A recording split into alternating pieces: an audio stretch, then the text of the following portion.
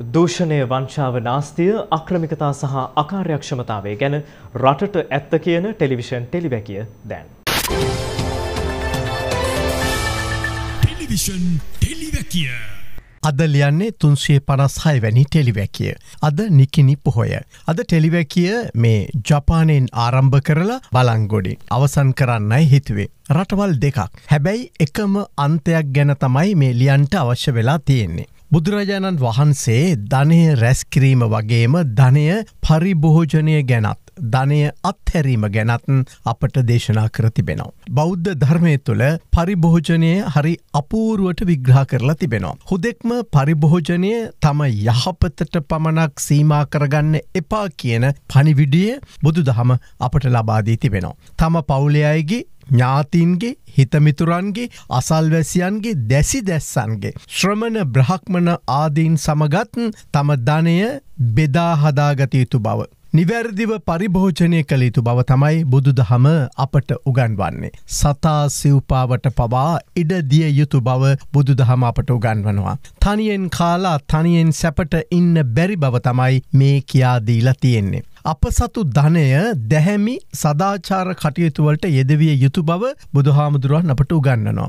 අපේ ධනය රකුසන් රකින විලක් වගේ විය යුතු නැති බවයි උන්වහන්සේ දේශනා කරලා තියෙන්නේ. මේ උන්වහන්සේ කතා කරන්නේ දැහැමි ධනය ගැන හොඳේ එහෙම නැතුව බල්ලො මරල හරි සල්ලි හොයන ධනය හොයන පහත් ධන උත්පාදන ක්‍රම ගැන නෙවෙයි. රටක් හූරා කාලා ධනය රැස්කරගෙන සැපට ඉන්න එක ගැන නෙවෙයි මේ ධනය කියලා හඳුන්වන්නේ. හොඳේ ඒ ධනය නෙවෙයි මේ. බෞද්ධ ධර්මය තුළ හරි අපූරු උපමාවක් අපට මුණ ගැහෙනවා. මේ උපමා කතාව ජපානය වගේ. මේ උපමා කතාව ශ්‍රී ලංකාව වගේ. මේ උපමාව තියෙන්නේ පායාසි රාජඥ සූත්‍රයේ. මිතුරන් දෙදෙනෙකු ඉන්නවා. මේ දෙන්න මිනිස්සුන් අතහැර ගියපු එ පාලු නගරයක ඉතිරි වෙලා තියෙන ධනය හොයාගෙන යනවා. ඉතිරි වෙලා තිබුණේ හන ගොඩක් පමණයි. දෙන්න එකතු වෙලා මිටි බැඳගෙන එනවා. එනකොට මේ තව අතහැරලදාපු ගමක් මුණගැහෙනවා.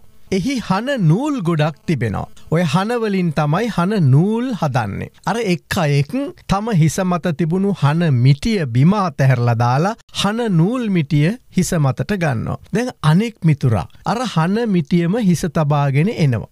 දැ මේ විදිහට මේ දෙන්නට ඔය අත්හැරදාපු ගම් කිහිපයක්ම මුණ ගැහෙනවා. ඒ ඒ තැංවල ඇති වටිනාදෑ මාරුවෙන් මාරුවට අත්හරමින් හිස බැඳගෙන එන්නට අර එක් මිතුරෙක් දිගටම ක්‍රියා කරනවා. අනිකා අර පරණ හනමිටියම හිස තබාගෙන එනවා. අන්තිමට දැන් ඔන්න දෙන්නම උපන් ගමට එනවා.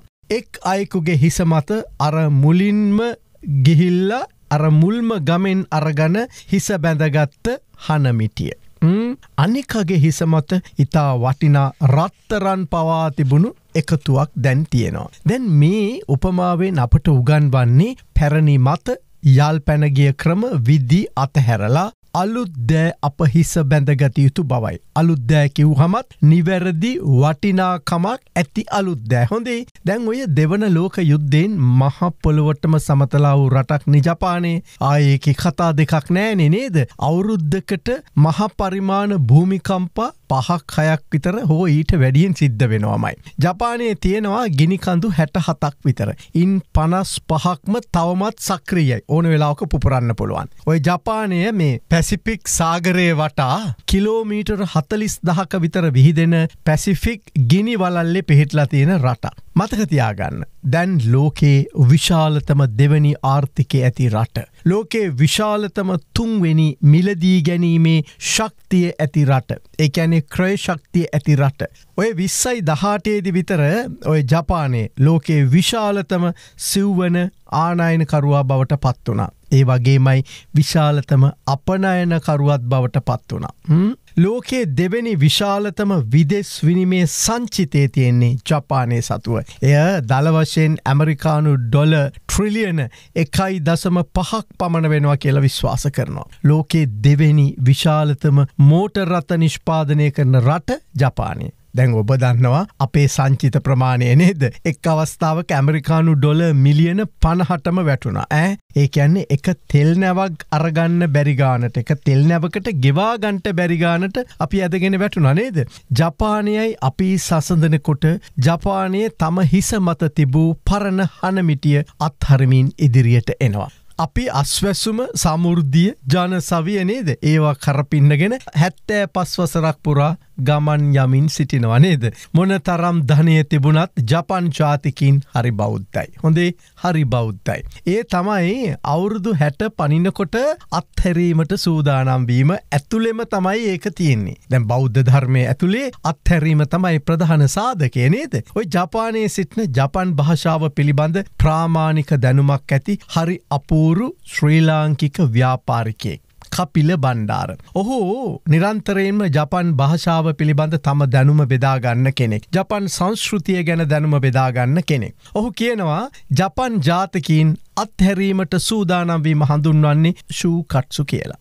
ආල බල වයසට ගිහාම අවුරුදු හැටේදි හැත්තෑවිදි අනිවාරයෙන්ම ජපන් සමාජය තුළ සිටින සෑම ජපන් මනුස්සෙක්ම කරන වැඩක්. එක තමයි මරණයට සූදානම්වීම. මේ මරණයට සූදානම් වෙනකොට තමන් කැමති ඇඳුම තෝරගන්නවා. ඒ මළගෙද දවසේ දාන සින්දුව තෝරගන්නවා. තියෙන මල් තෝරනවා. කාට කාටද එන්න කියන්නේ කියලා තෝරගන්නවා. මේ ඔක්කොම ජීවිතුන් අතර ඉන්නකොට තමයි මේ ජපන් සමාජයේ ඉන්න මිනිස්සු කරන්නේ. ඒ වගේම වේලස්සනින් ගිහිල්ලා මල ගමට සල්ලි බැඳලා එනවා.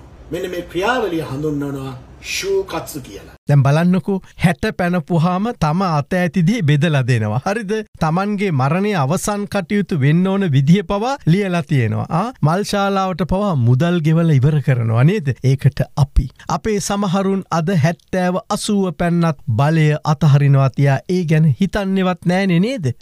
අද ටෙලිවැකිය අවසන් කරන්නේ බලංගොඩින්. නියගේ නිසා තම අස්වැන්න වේලුන විනාශ වුණු බොහෝ ගොවින් රටපුරාම හඬා වැටෙනවා. විනාශවී ඇති කුඹුරු අක්කර ගණන දළ වශයෙන් හැට දහසකට වැඩි කියලයි ගණන් බලලා තිබෙන්නේ. ආණ්ඩුව කියන්නේ තමන්ට වන්දිදෙන්ට පුළුවන් බෝගජාති හයකට විතරයි කියලයි. ඔය වන්දිත් ඉතිං අත්තට ලැබෙනකන් විශ්වාස කරන්නට අමාරුයි නේද. මොකද මේ පෙර වන්දි ගැන අපට ඕන තරම් අත්දැකීම් තිබෙන නිසයි එහෙම ලිව්වේ. හොඳේ ගොවින් බොහෝ දෙනෙකු මේ මෙවරත් වගා කරලා තියෙන්නේ කනකර උකස් කරලා. ගොවින්ගේ විතරක් නෙවෙයි බොහෝ රටවැසියන්ගේ කනකර උකසේ. දළවශයෙන් රුපියල් බිලියන හයිසියක රත්තරං උකස් කරලා තියෙනවා කියලා ගණන් බලලා තියෙනවා. මේ ප්‍රවෘතිය දුටු මෙරට ව්‍යාපාරික මහතෙකු සහ ඔහුගේ දීනිය අපිට කතා කළා. පිංගානට බත දෙන එක් ගොවියෙකුගේ හෝ කඳුළු පිසදානට තමන් සූදානම් බවයි ඔවුන් පැවස්වේ. ප්‍රසිද්ධියට අකමැති වනත් මේ යහපත් පනිවිඩේ සමාජගත කළ යුතුමයි.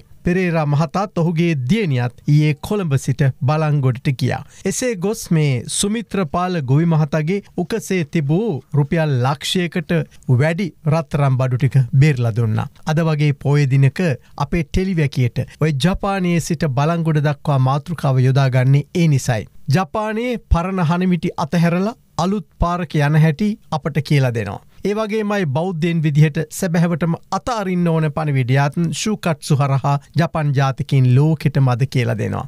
ඒවගේමයි අඳුරට සාප කරනවට වඩා මේ අපූරු පෙරේර මහත්මඇත් ඔහුගේ දියනියත් අපට දෙන පණිවිඩිය. මේ අපේ පිඟානට බත දෙන මේ අයගේ කඳුළු පිසින්නට ක්‍රියා කරමු කියලා මේ නිකිනි පොහොයදින එවදාර පන්විඩිය අපි අද සමාජගත කරනවා. ඔබට අපේ ටෙලිවැකි ආචාරය පුද කරන ගමන් අතහැරීම දන්දීම ජපානයේ බලංගොඩ හා අපි ගැන ලියව් ටෙලිවැකිය මෙන්න මෙහෙම අවසන් කරන්නම්. පුළුවන්නං එකතු වෙලා මේ හඬා වැටෙන ගොවීන්ගේ අපට පිඟානට බත දෙන ගොවින්ගේ කඳුළු පිසලන්නට හැකි පමණින් දායකවෙමු එකතුවෙමු කියලා ඔබෙන් අද ඉල්ලනවා.